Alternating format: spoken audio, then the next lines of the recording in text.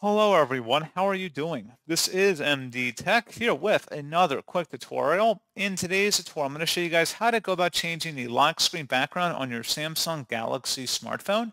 So this should hopefully be a pretty straightforward process here guys. And without further ado, let's go ahead and jump right into it.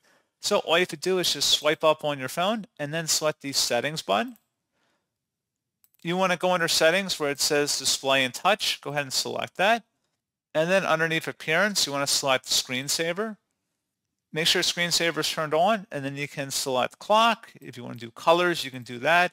If you want to have photos, you can select photos and then customize photos you want to play on your lock screen.